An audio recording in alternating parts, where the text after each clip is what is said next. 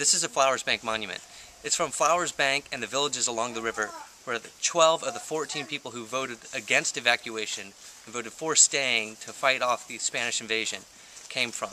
12 of those members started up here and paddled their way all the way down to Belize City, which was a long canoe trip back then.